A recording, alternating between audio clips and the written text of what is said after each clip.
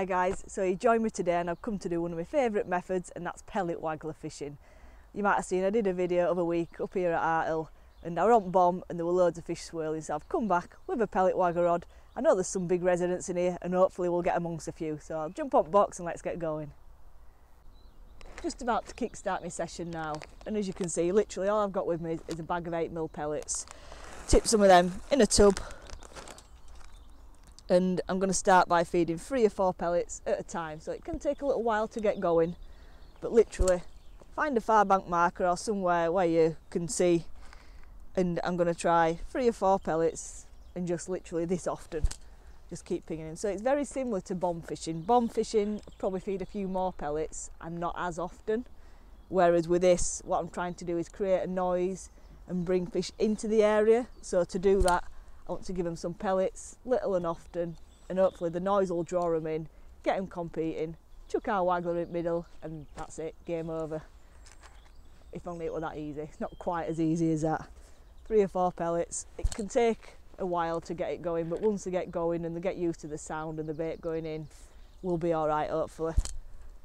So yeah, for now, I'm going to sit here, ping a few pellets, get that rod cast out and hopefully catch some. Going.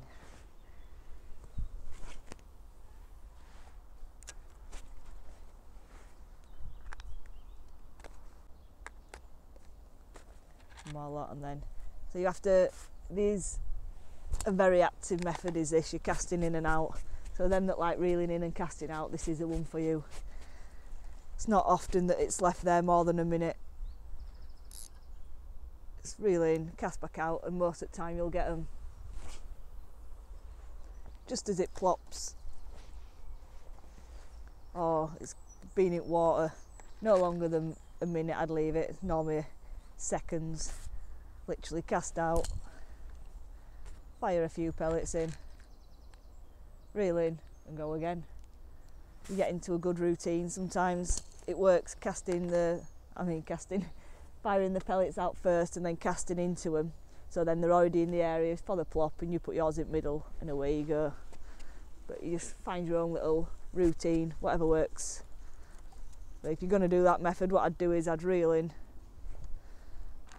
just so your floats underneath. And I have done this before and caught caught fish. You'll think it in one of the videos at Lindholme if I remember right. So there, my pellets are out. There we go, right into the splash of them. So hopefully fish have come in, looked at the pellets, yours goes in middle just after him, and away we go. So we'll keep feeding and hopefully we'll get one soon. So there we go, looked into his first fish. It's always hardest one to catch on pellet waggler, but once I keep coming into that noise, hopefully there'll be a few more where this one came from. Took it, literally plopped in, sat there a few seconds, it's going a bit mad. It's only a shallow venue this it's pulling a bit. Oh, there, I might have just turned it. So yeah, they come into that noise and once there's a few fish in area and they get competing, that's when you'll start catching a few. So like I say, it's always harder getting that first one, get them competing. But we've got him, so we're off the mark. Well, not quite, but hardest part's hooking him I say that there's a bit of weed about so I'll have to navigate him round that hopefully oh her I won't be sexist. We'll see. It's coming back now. Had that nice big run to start with. Take us time. The big fish in here. Only using light gear so if it needs to go. We'll let it go. Where is it? Oh, it's coming in now. Lovely action in these rods. At that. Ooh. Keeping my rod low just so fish will stay a bit higher in water. It's easier to bring them in this way. There we go, it's coming in nicely. Another big fish. Lovely big fish these are. There we go. Still got a lot of power. Oh, bit of a chunk. So there we go, what a chunk is. Got to be near on £20, definitely high teens. Look at that. Lovely fish, caught on that light gear. What a beast. Getting back, see if there's any more. Definitely the biggest one. I've caught out of here, I've caught a few fish out of here now, but he's definitely biggest. Let's slip him back, eh?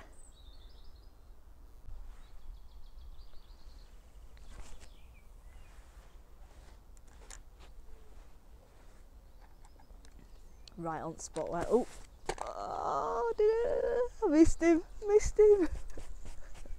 oh, I'm right on the spot that. Just about to pick up my catty. And they're gone. Bite went. How did I miss that? Sure it'll pull it rod round and everything. What a bummer. Oh, I won't miss in that bite. Hey! Not gonna get mugged off twice. There we go. Out, landed like a dream. Fish came into it, sat there for a few seconds, boom, and it's on. That's what it's all about. It's coming in nicely as well. Not running as ragged. They've been a bit energetic to say the least today. This one's coming in nicely, just how we like it. Don't get much better than this, does it? Double figure carp a chuck. There we go, it's coming nice and easy eventually this one. Oh, thought it were going to ping off then. Nobody likes that when it pings off the fin. Come on, there we go, his beat. In he goes. Oh, lovely common. I had many commons to be honest. Lovely fish.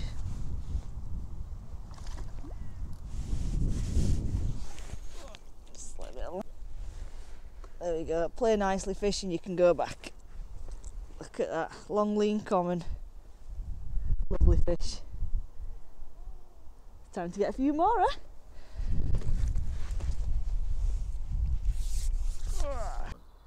So we're just going to interrupt the fishing just for a minute and just give you a run through what tackle I'm actually using. So I've got an 11 foot pellet waggler rod, lovely Superior one, Centris reel in 420 and with that I've got six pound float max line on, lovely line this, quite thin diameter, cast like a bullet, that's what you want.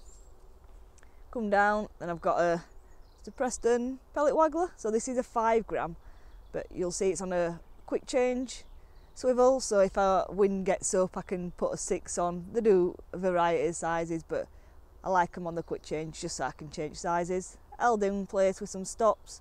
So they slide up and down the line which is quite important because as you can imagine the fish don't all sit at the same depth all day. I will have to move it up and down. And then I've got a pretty tight hook length on there.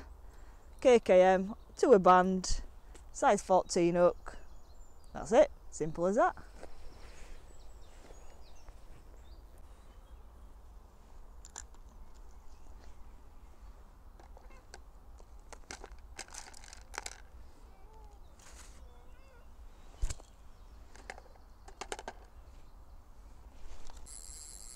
That might be on.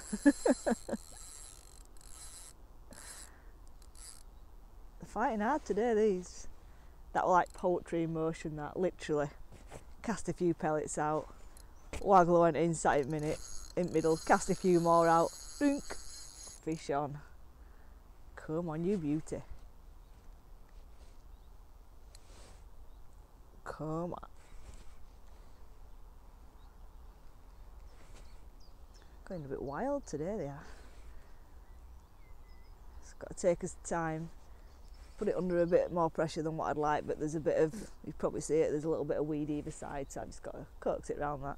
Not too thick, but we're not fishing meg mega ever gear, so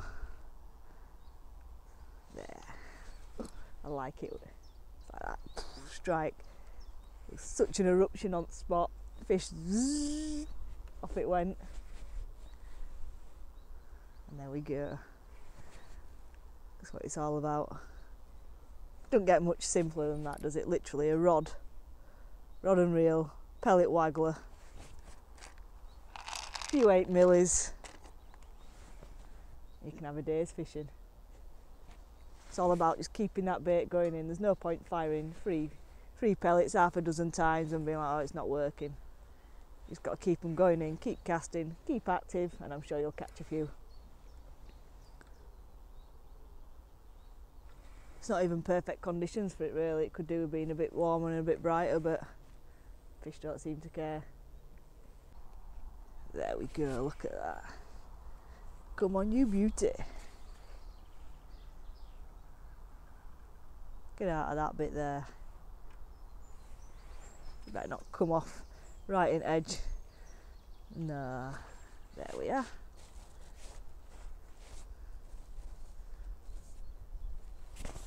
Look at the size of him. Put up a right scrap with that one. Oh, get in.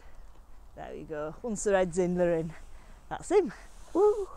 Let's take a look at him. Look at that. Another chunk. There we go. Just open it. Can't do any harm to himself in there. Come on, flip over. Get that look out. Need to make sure you've got a nice big net. Obviously, I've got a nice big pan net here for him. Oh, he wanted that. Right down it is. Right down. There we go. Drop him out. I'll have a quick look at him. We're ready.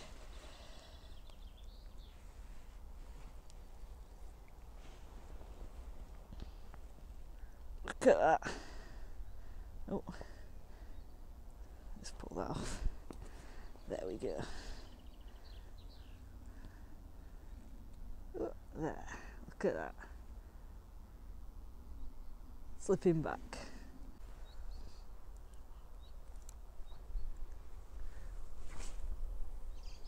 There we go, stop it just before it enters water. And what is important when doing this sort of fishing is the batch of pellets that you use obviously. Might, might sound a little bit silly but I like the the thin perfect ones the 8 millis from Sonu because they're all the same size so you get some batches from different pellets and they're a bit like they're not all the same shape and size to be honest. And it does make a difference when you're catting. As you can see these are being catted they're all landing right next to the float all the same size, going the same distance. And You get some that are different shapes and sizes and they all go all over to be honest. And main point of this is trying to keep your your fish group together. So we're trying to keep all fish in the same area same distance. But if your pellets are going everywhere your fish are going everywhere chasing them just makes them a little bit harder to catch. So next time you're buying pellets just have a look make sure they're all roughly the same. They're never going to be exactly the same size, but you can get some that are a bit rubbish. Look at that, just at the back of it.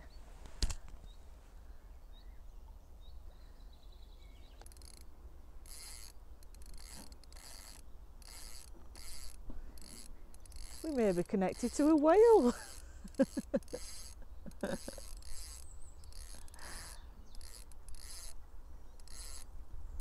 it's going a bit, is this?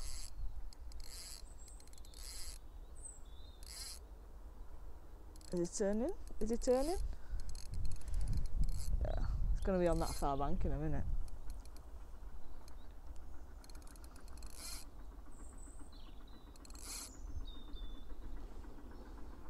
Come on, fish. Ah, oh, there, we might have just got him. That was a big run.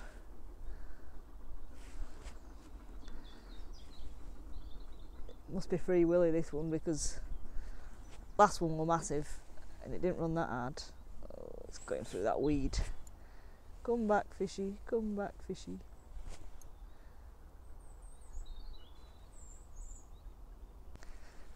Well, tell you what, he's put a good account up for himself.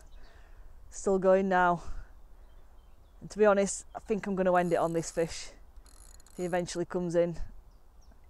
They all know where them little bits of weed are. Managed to pull him through it and He's still got fight left in him. Look at that. It's going around that way now. I don't mind it damp middle, there's not as much weed. But yeah, I've had a lovely session, and to be honest, it's been quite evident that I've caught better around my feed sometimes. So rather than chucking it in, it always pays to play about and chuck it either side. And then obviously fruit middle. You're casting that regularly, you can have a play. Come on. Nod your head and come through. So there we go, back out of that little bit of weed. You do find them little bits, but I think he's more or less ours now. I say that all can happen, but here he is. Got a count up for himself. Moby Dick. See that flick off then. Lovely fish. I've had a lovely session. I hope you've enjoyed it as well. I love pellet waggler fishing. Caught some massive fish. It's not often you can come and catch size fish that we've caught today on the pellet waggler, but this venue's awesome for it. Full of fish. Look at that. Come on. Round you come, Moby. Into the net.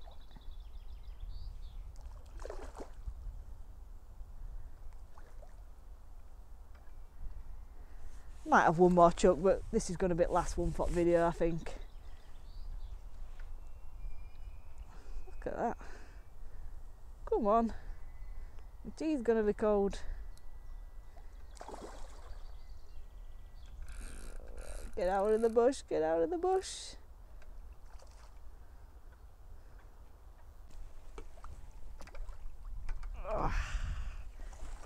There we go. So, what a lovely fish to end on. Let me just get him out. Look at that. Got his fin up and everything. Nice angry one. Moby Dick. Look at that, how lovely is he? Had a lovely day. Hope you've enjoyed it as well. It's not very often you can come out and catch double figure fish every cast. We had adult smaller than, I don't know, I wouldn't like to say, but I reckon 13, 14 pounds being small and biggest, got to be scraper 20. So I hope you've enjoyed the video. Like, subscribe and I'll see you on the next one. Cheers guys.